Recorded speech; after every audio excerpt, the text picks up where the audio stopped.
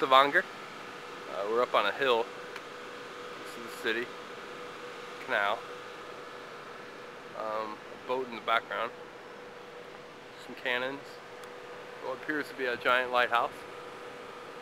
Um, it's been rainy most of the day, so we're just happy that it's dry.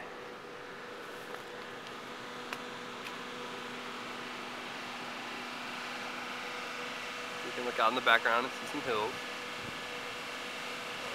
Stavanger is a prosperous city these days with the price of oil being expensive.